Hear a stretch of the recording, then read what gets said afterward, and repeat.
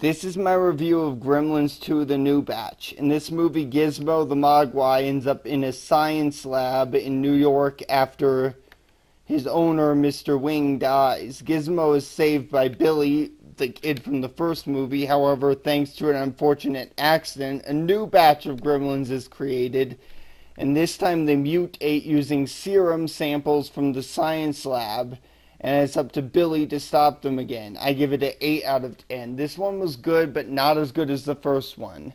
That's it. This is John D. Hyena, agent of social media chaos, signing off.